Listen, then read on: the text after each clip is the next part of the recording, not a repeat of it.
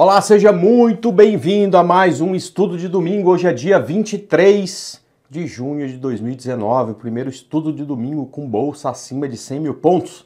Vamos lá, eu sou André Moraes, analista de investimentos. A gente teve aí, portanto, é, como se o mercado está acima de 100 mil pontos, o rompimento daquela resistência que durante tanto tempo eu falei para vocês que era uma resistência importante. Rompeu e agora? Vamos ficar milionário? Não. Né?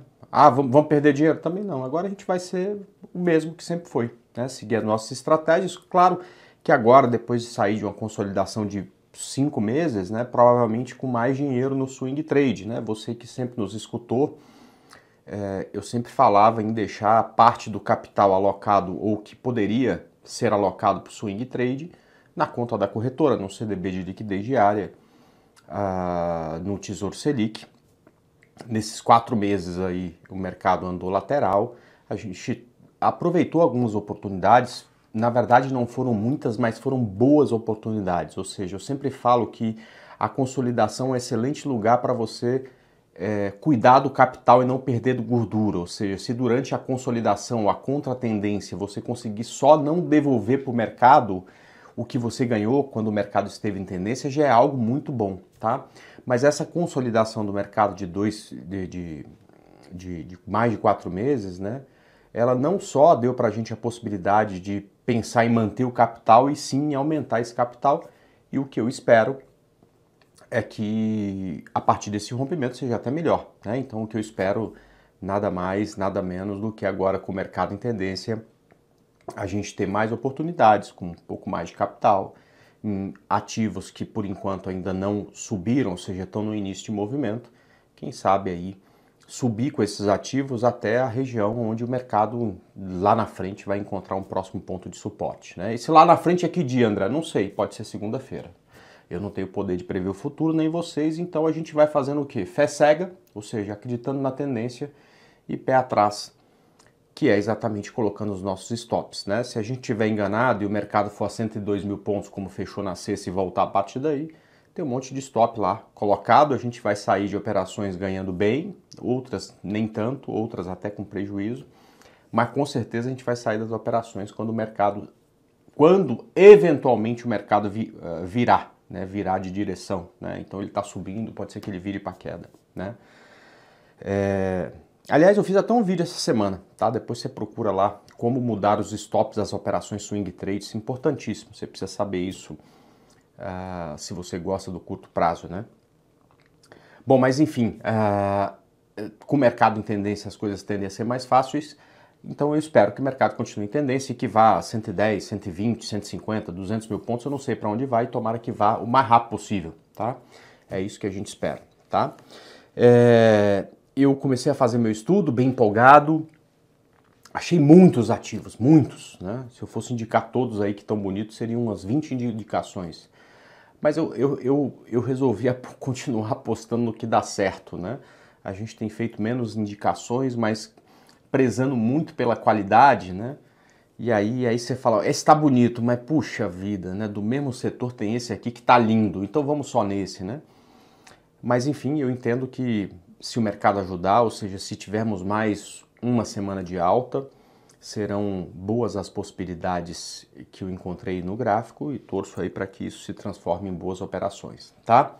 Eu quero começar falando um pouco de Dow Jones.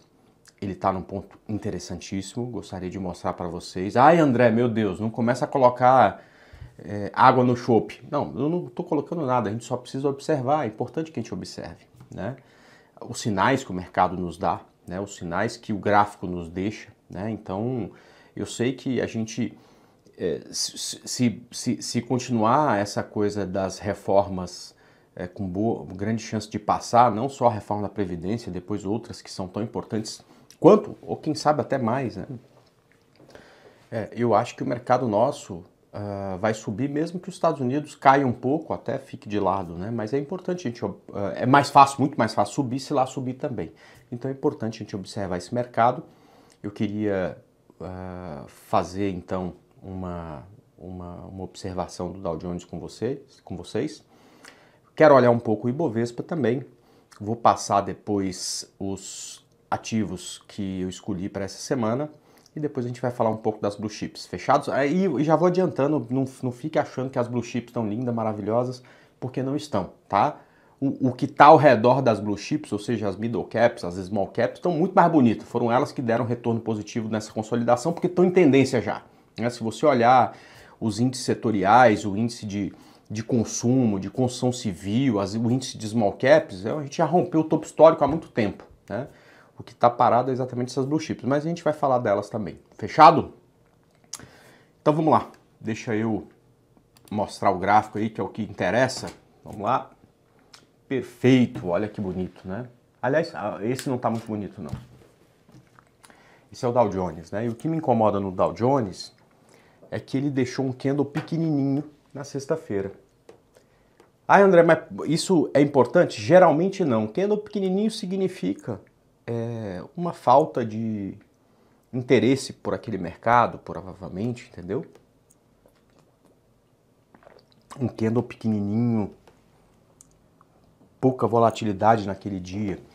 O problema é o lugar onde ele deixou esse candle pequenininho, né? Eu queria que vocês observassem aqui comigo, né? É, foi esse aqui, né? A, o topo histórico do Dow Jones é esse aqui, né? da última vez que teve nessa região foi aqui. Olha o candle que ele deixou aqui nessa região. Pequenininho, né? Pouco interesse, quase nenhum. Agora, olha daqui para frente, né? Em vários topos e fundos que marcaram uma mudança no movimento. Olha aqui que o Dow Jones deixou. É, alguns foram mais importantes, outros menos, outros menos importantes, mas é, é, impressionante que antes de todas as correções, né, ou, ou, todas não, mas de boa parte das correções, depois de uma longa perna de alta ou de uma longa perna de queda, candles pequenininhos marcaram uma mudança, pelo menos momentânea, na direção da tendência. Né? A gente fala momentânea porque teve, por exemplo, um candle pequenininho aqui, depois outro candle pequenininho aqui, ou seja, o mercado aqui só corrigiu para depois fazer uma perna, deixou um candle pequenininho, só corrigiu para depois fazer uma perna. Perdoe. Aqui uma correção um pouco maior, aqui uma correção pequenininha. Aqui, depois desse candle, aqui sim uma mudança de direção bem grande, né? Como tinha sido aqui também, tá? Ou seja, em, uh, esses candles pequenininhos do Dow Jones não podem ser desprezados, então eu vou ficar essa semana muito atento a essa região. O que eu quero de fato é que o Dow Jones rompa essa região que é o topo histórico dele, ganhe força, suba bem, para que a gente tenha, além do mercado brasileiro rompendo topo histórico, o mercado americano também fazendo a mesma coisa, tá? Entendo que vai ser muito mais fácil subir se a gente tiver essa condição. Então atenção, né? Porque se vier alguma dificuldade do Dow Jones, que seja uma correção nas médias móveis, a gente precisa fazer uma seleção um pouco mais apurada dos ativos que a gente vai tentar aqui no Brasil. Beleza, André, já falamos de Dow Jones, vamos falar de Brasil? Enfim, a gente rompeu a região de 100 mil pontos, você já está arrumando outro problema. Mas é pro bem, tá? É só pro bem, é só para a gente prestar atenção, tá? O que importa mesmo é isso, tá? A gente rompeu a região de 100 mil pontos e uh, muita gente falava, não, mas o topo não é esse. Eu sei, mas o topo não importava, né? O topo era 100.500 e alguma coisa. O topo dane-se, né? A região mesmo importante era os 100 mil pontos, a gente nunca tinha dormido acima desse ponto, né? Era o, o, o ponto que durante 17 anos que eu estou no mercado eu olhava e falava, um dia estaremos lá. Ele foi rompido, né? É esse ponto. E ele foi rompido na quinta-feira, mas na sexta-feira o preço se afastou dele, o que é melhor, né? Eu falava sexta-feira de manhã, gente, tão importante quanto romper é fechar essa semana acima, né? Pois bem, o mercado falou, ah, então o importante é fechar acima, então vamos fechar 102 muito bom, tá? Muito bom. Significa então que o mercado rompeu realmente uma resistência e a gente espera que a partir daí ele estique e chegue a 120, 150, 200 mil pontos, sei lá aonde esse negócio vai chegar. O que eu espero é que seja longe, ou seja, se for a 200 é melhor do que se for 150, né? Porque vai ser mais dinheiro, é, é, é mais volatilidade, né? E a análise, e quem gosta de preço gosta disso, e que seja no menor espaço de tempo possível tá? É isso que eu espero. Se o preço vai fazer ou não, é problema dele, tá? Eu só espero que seja isso. E, claro, né, o rompimento desse ponto gera algumas oportunidades. Agora, não adianta querer comprar o que já foi, né? Virar, é, é, é, ah, enfim, querer né, ganhar para frente olhando para trás. Né? Ah, tal ativo já subiu 30%. Então esse já foi. A análise técnica não foi feita para analisar ativo que já foi, né? é para pegar início de movimento. Então eu tomei um cuidado danado de escolher ativos que têm uma possibilidade de iniciar movimento. E principalmente com a ajuda, aliás, uma ajuda muito boa dos alunos, né? O, o, o, das pessoas que me seguem, não é aluno, é trader, é, outros analistas, às vezes alunos que estão dando os primeiros passos e começando, eles me mostraram alguns desses ativos que estão principalmente rompendo linha de tendência. E como rompimento de linha de tendência é um tipo de operação que eu passei a amar muito, né? Porque não te dá retorno imediato, mas te dá um retorno depois de algum tempo e um retorno muito bom. Eu vou começar falando sobre esses três ativos que estão prestes a romper linha de tendência, tá? O primeiro, na verdade, na sexta-feira já rompeu, mas ele é tão bonito que eu não vou deixar de falar. É BR Malls, aqui no gráfico semanal, a gente consegue observar que ela tem um topo que vem de 2012. Passou aqui por 2017, depois aqui já em 2019, em janeiro, né, quando a gente tinha feito a máxima do, do, do ano, né, serviu aqui como um ponto de suporte, corrigiu nas médias e agora está rompendo essa região.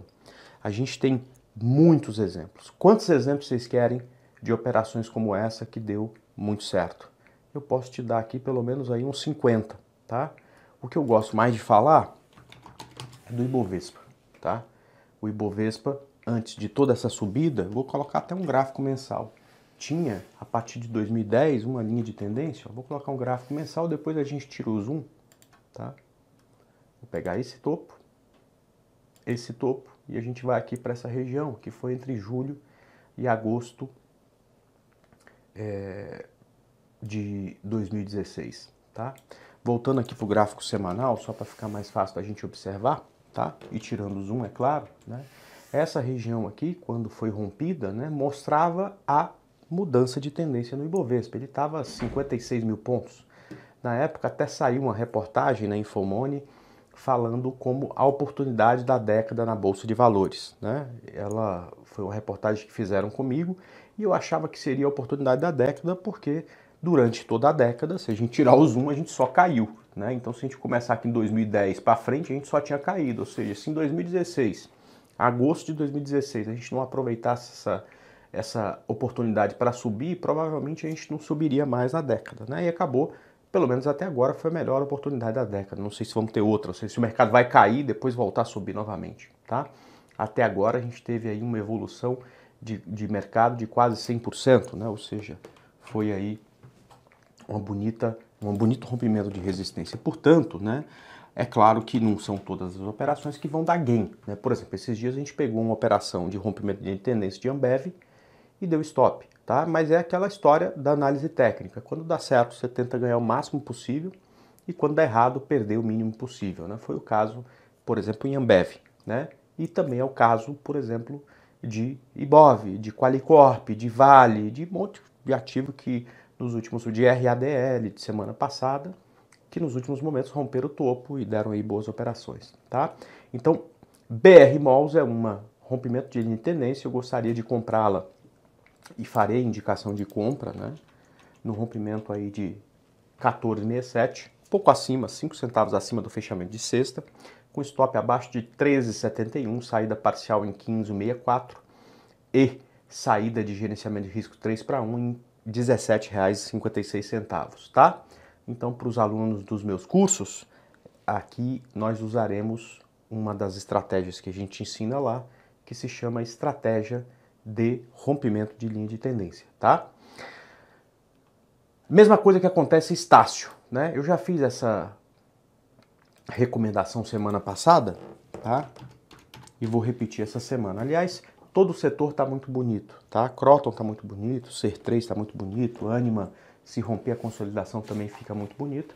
A gente preferiu aí falar de Estácio, tá? Estácio também tem uma linha de tendência não tão bonita quanto de BR Mouse, porque uma das coisas que a gente observa na linha de tendência é quanto tempo ela durou. Quanto mais longa é a linha, mais representativa é o sinal.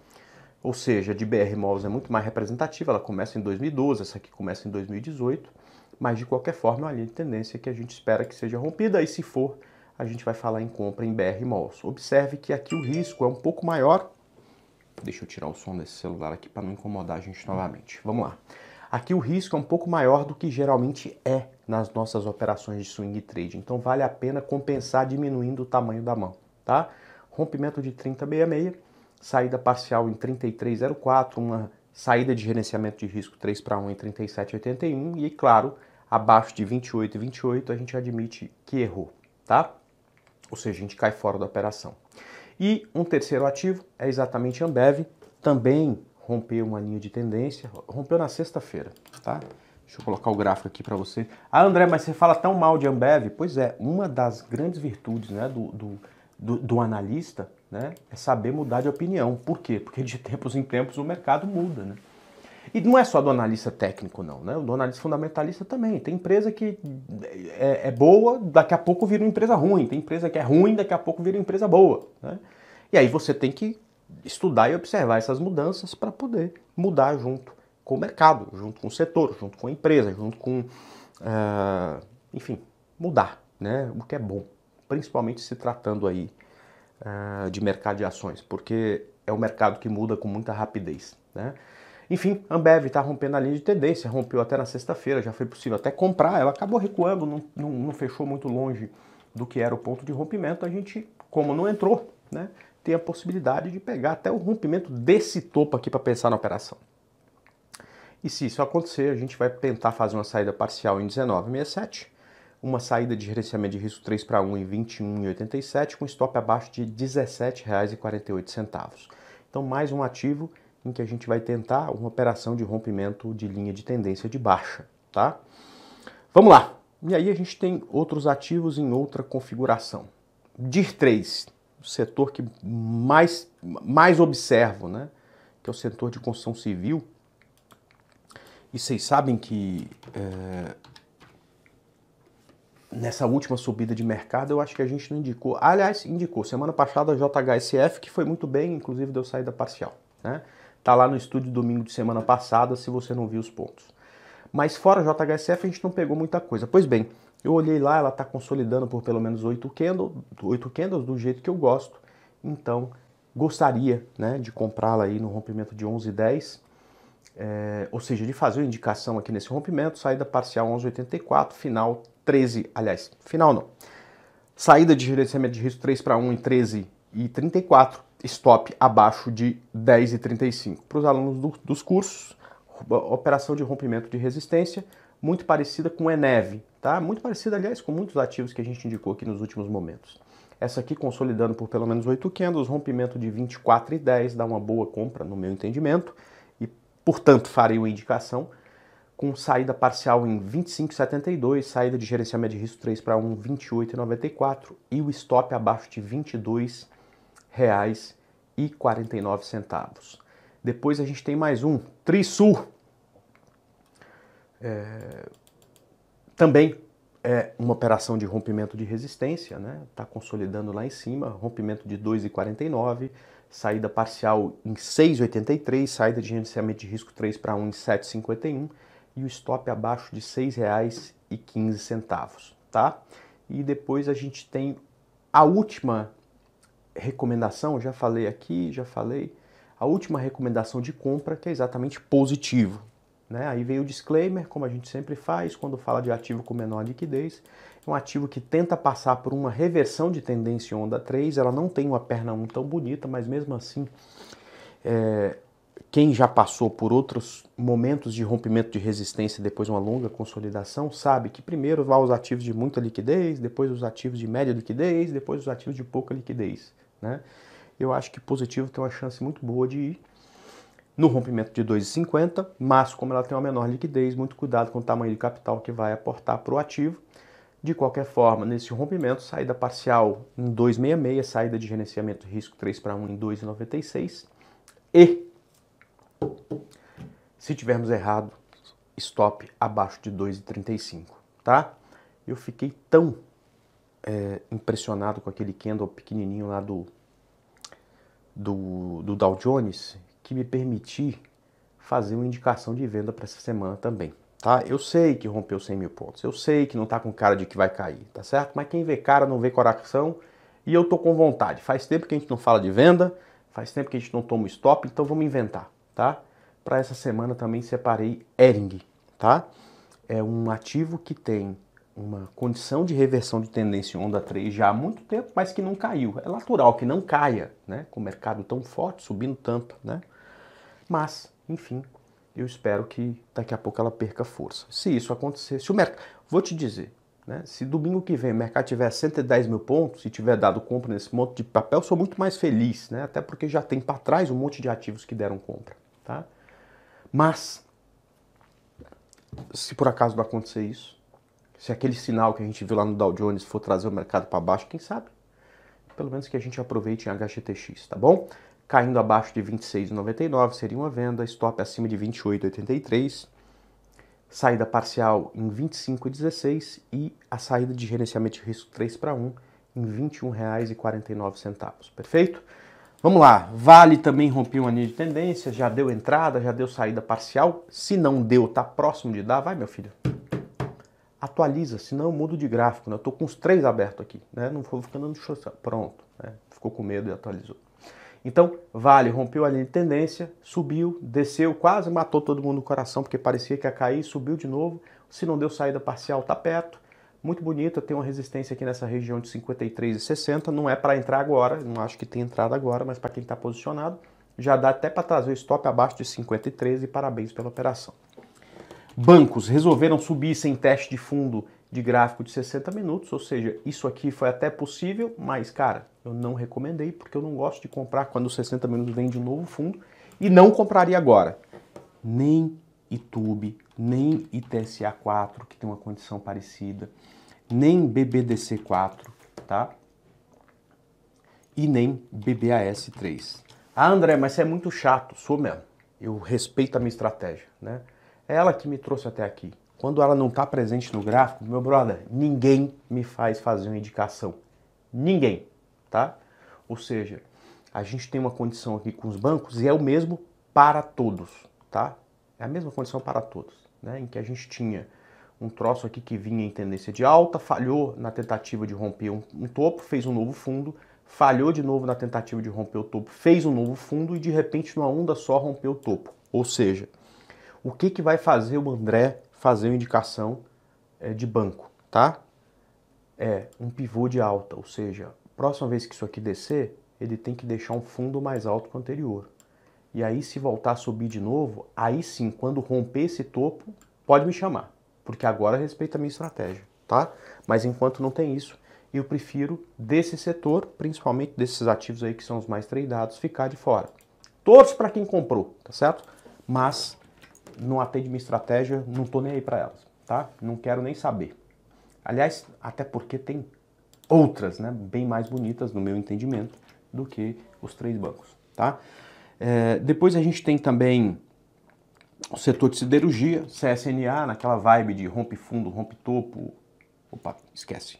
Depois a gente tem o setor de siderurgia com GGBR4, naquela vibe de rompe topo, rompe fundo, estopa quem vendeu, estopa quem comprou e tal. Enquanto ela tá assim, eu quero ficar de fora.